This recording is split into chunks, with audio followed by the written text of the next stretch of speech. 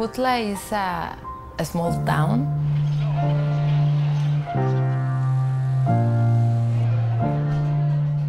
You know everybody here. You know all the business and even if you take a taxi, you know the taxi driver. When I was growing, I always imagined having a really strong roots. Like having my house my own business and be part of my community. And I imagine myself living in Jojutla.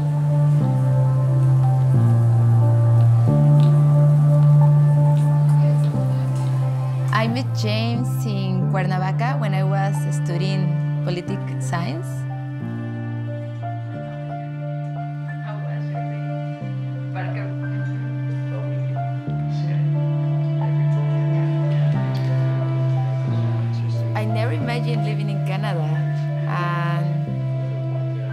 Really hard for me at first because, well, I have a, a huge community here. So Fernanda had stayed back to finish a loan application for our small business. And I had zipped over to Canada to do some work there. But we were eventually going to be in Canada together. And then the earthquake happened.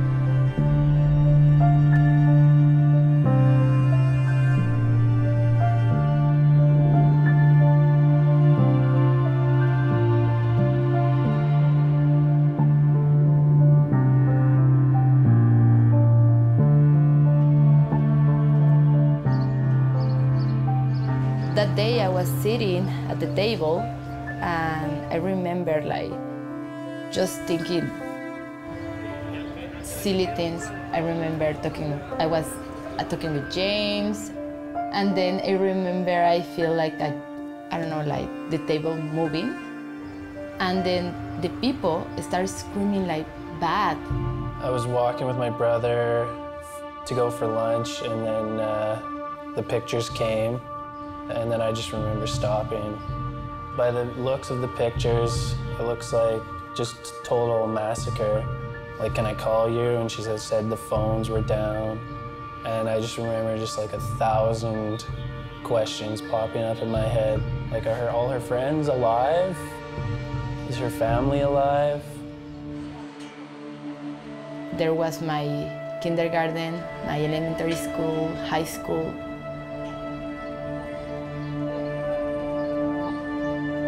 So I knew everybody there. And then they lose their houses and people die.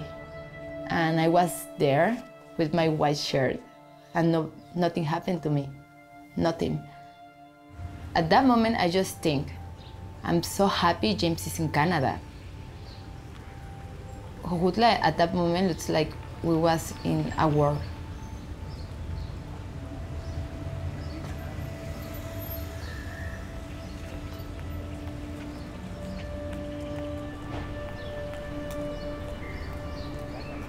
So the day of the earthquake, all businesses shut down, but Fernanda and her family just started giving out free sandwiches. So that's how it started. Since they had already been organizing food and water, they kind of elected Fernanda to be in charge of this semi-truck of supplies.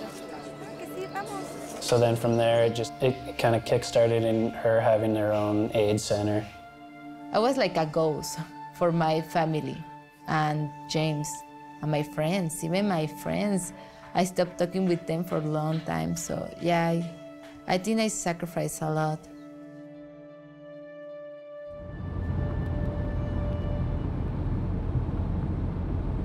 I stay in Jojutla for one year after the earthquake because I want to continue helping.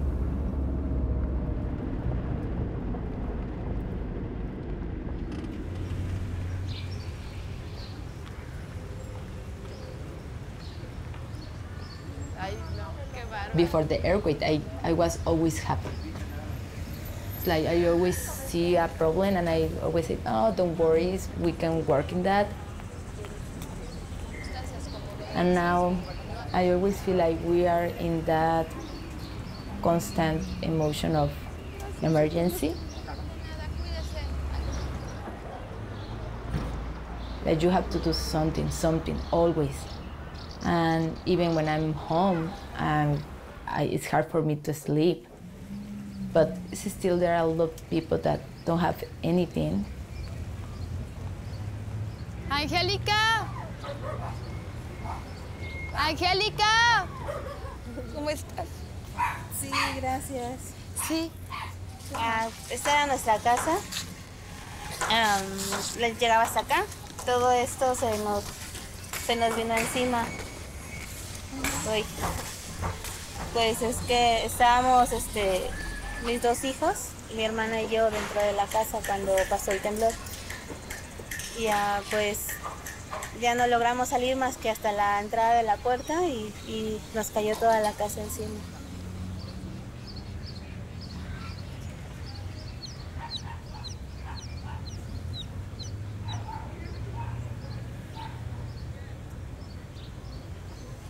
y pues desgraciadamente mm, falleció mi, mi- mi niño y mi hermano en, en- en ese momento. Y nada más mi, mi pequeña yo logramos salir con vida.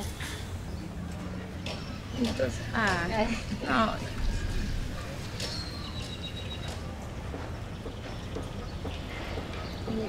Perturbar ahorita, ¿verdad? And we lose 20 schools, some hospitals, and houses like this. We have a lot. We still have like hundreds of families living thi- in this situation. Because our government say they don't have enough money.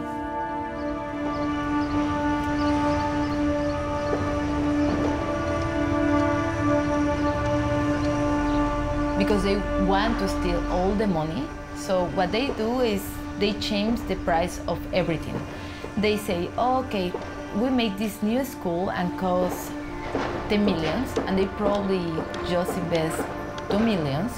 And they say, we use the best quality of materials, but they use the worst. And then something like the earthquake happened, and that cost lives. Todos nosotros estamos convencidos que somos partícipes de un cambio. we start seeing all this injustice and how our politics are. And then I think there is where I change. Carlos, Carlos, he's my friend from like long, long time. And he was activist in Mexico City. We start like sharing experience everybody was agreed like our government is a shit and we have to do something to change that i remember like driving and i called my mom and i said mom i was talking with carlos and i said he should run right and my mom said yes eh, he's gonna be awesome because he's the most honest person i know everything happened and say carlos if you run i'm gonna be with you full commitment.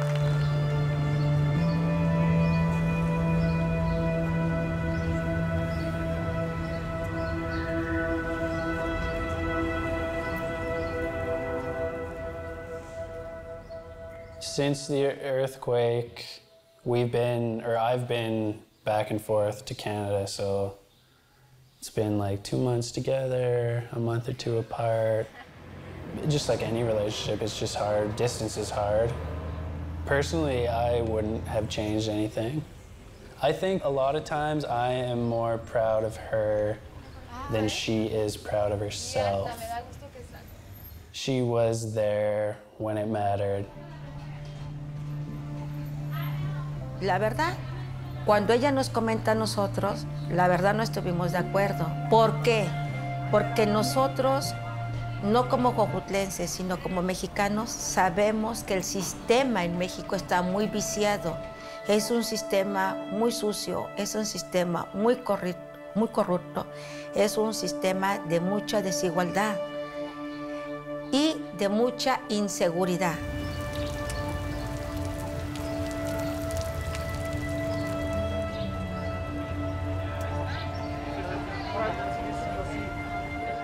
Jojutla is one little municipality in average in Mexico.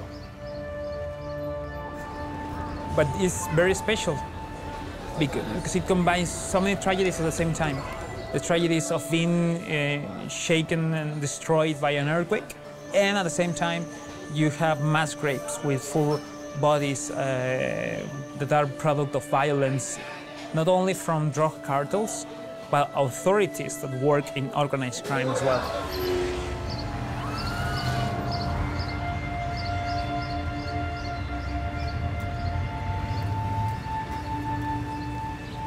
Morelos is the second state with more women get killed.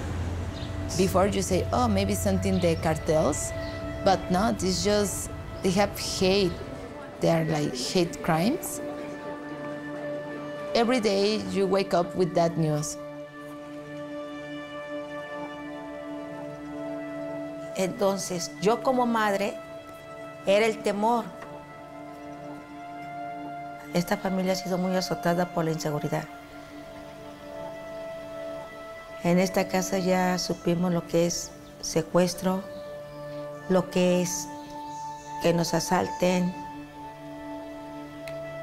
Y mi esposo ha recibido, él ha sido atracado cuatro veces en su vida.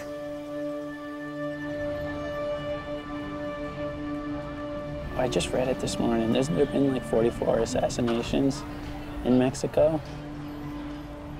Yeah, like 100 and some, right? And 44 candidates, that's what it was. So they hear news like that too, and they ask me, is it dangerous? I honestly don't really know what to say. I think it is somewhat dangerous. I take care of myself. I'm really careful. I know I spend a lot money in gas, but I prefer to drive my car to just walk at night.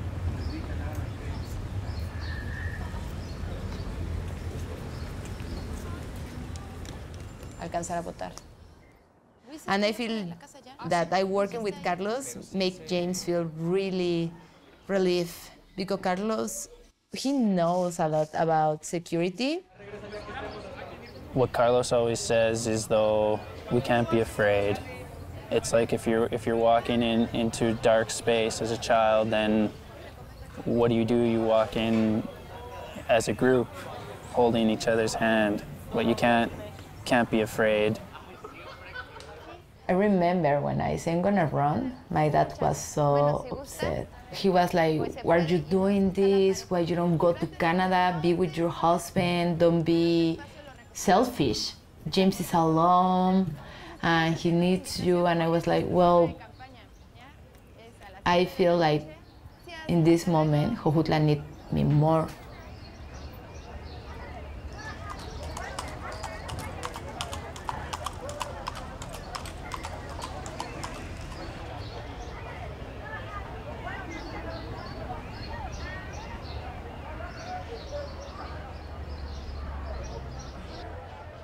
This is going to be the biggest elections in all our history.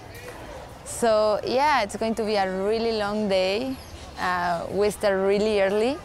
We have to find one person for every polling station, so there are uh, 78. It's hard to find people who wants to do that for free. Candidata. ¿No se puede? Ah, mira, Julia, te presento a don Guillermo. Perdone. Sí, no. Él, Puedes hacer está completamente prohibido. ¿Qué? ¿Platicar No con ellos? con los votantes, no, no puedes hacer eso. Ah, es, es que es mi Está- padrino, sí, incluso. No importa. Me pidieron una foto también. So the campaign's been kind of actually nerve-wracking because every time we deliver food to our observers, we take a picture of them to send to our security in case anything goes down. Like if one party feels that another party's really strong in a certain booth, they'll try to disrupt that booth to scare people from going there to vote.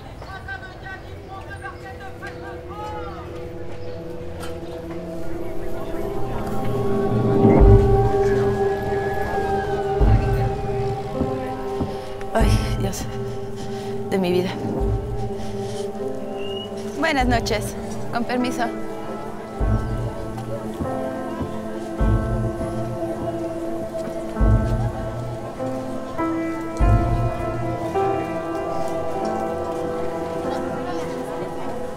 ¿Esto qué es? Ah, no, esto es de gobernatura. ¿En dónde están? Three years ago, in the last elections, the problems always come when people finish voting because everybody start counting the votes. Eres una santa, te lo juro. Ah, ya, te tocaban las abajo. In another place where they was counting votes, somebody come there stole the polling station and hit the people who was counting the votes.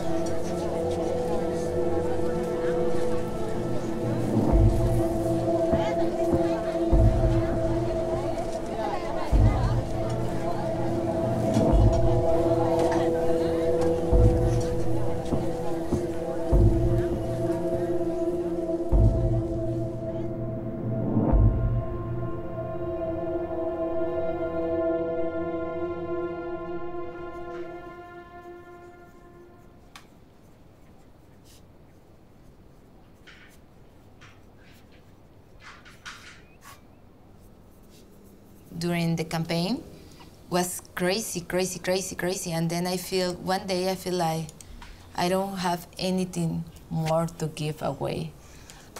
I, I feel like I was empty. And then I went to Canada and start feeling like, okay, I'm I'm, I'm getting there, I'm charging my, my batteries.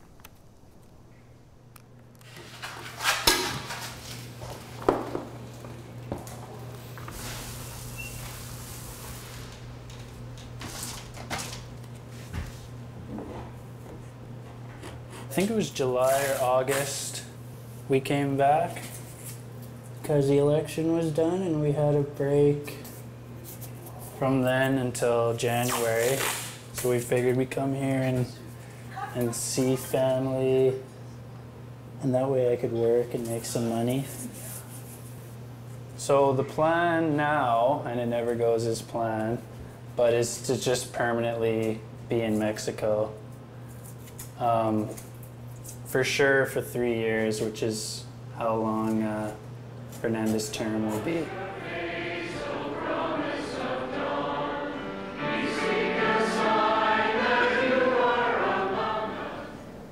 Keep track of whatever you spend this Christmas season on trees and gifts and wine and eggnog.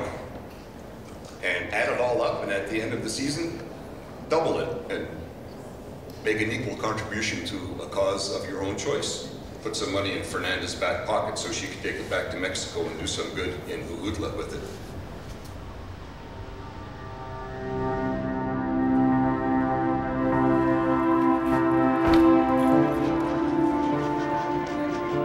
I think we have a calling. We're gonna be in charge to raise this town who lose everything. It's not just any job.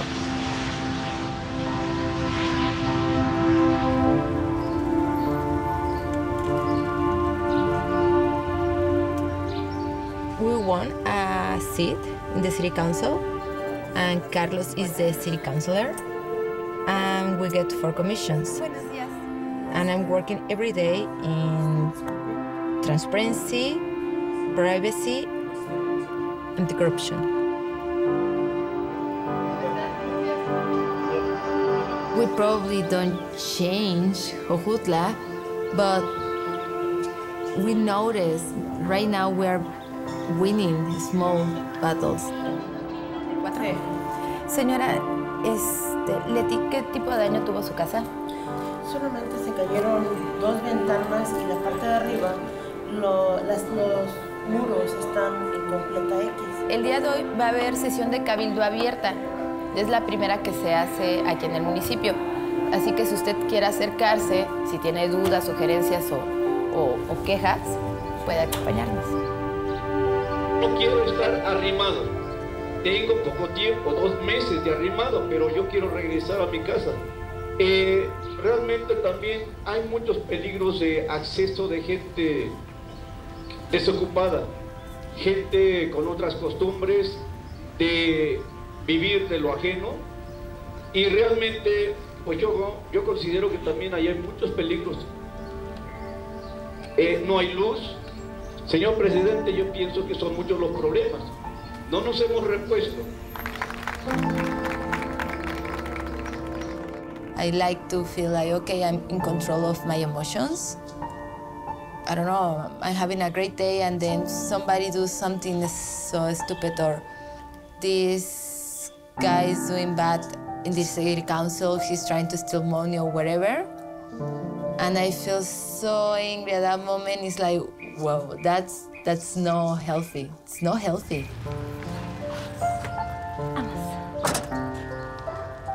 ¿Cómo está, señora? Ahí está. Pásele. Mire.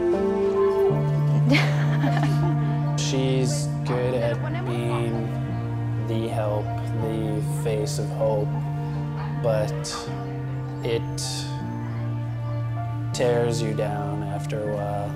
And so it's hard, even today, when people go to her for help.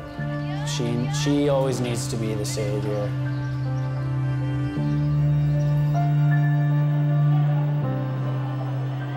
I think that you have like a, a hard limit of what you can do against corruption.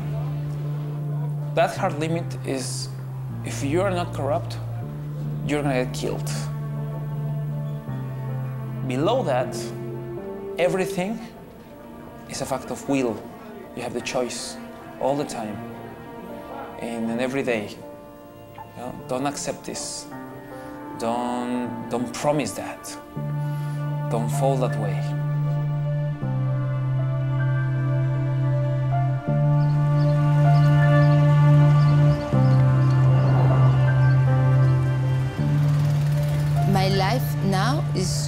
My work. Hola. Hola, Adri. And I feel like, well, James is what kind of life he have in Jojutla. It's not safe for him. So sometimes he wants to go out and I start getting really anxious. I don't like how I am here. I start feeling like I'm really freak, like control freak with him. So he said, oh, I want to go to this bar. This guy invited me. And it's like, no, James, you don't know him. Maybe, well, a lot of people here is in the drug business. It's not fair for James. It's hard to get an idea of what's happening here because I think people here have become accustomed to it too. Like living in a small town like this to begin with is hard. It's hard uh, for me, I'm not used to it, but it's hard on everyone here. There's murders that happen, all the corruption, girls and women being abducted. It, it gets old. It's, it's so sad.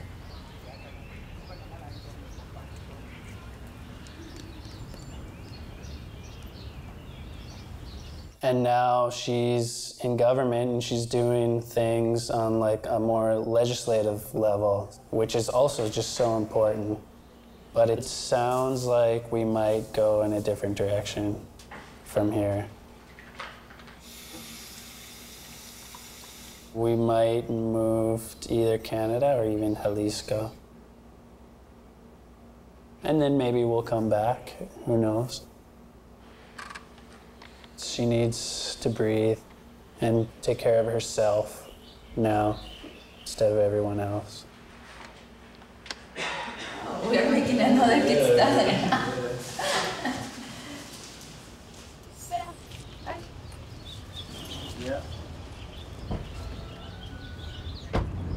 These last weeks, I'm trying so hard to figure out what I want to do because I know I know myself so well that if I decide to live here without being sure, I'm going to be feeling guilty.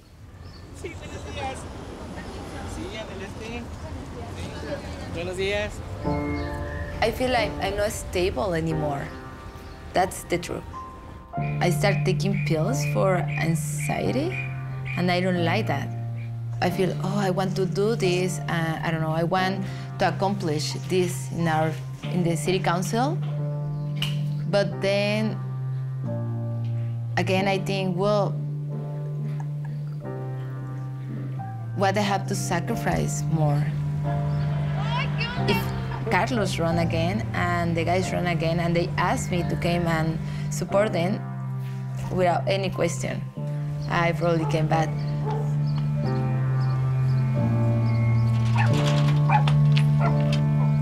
I think I never going to stop trying to help. But I don't want to be so innocent to say we can change everything and everything's going to be all right. I can walk every night at the streets without any concern, now because it's, that's not the truth. We are going to continue working to helping people that wants to have a better life. We are not going to stop with that, but I'm not naive anymore.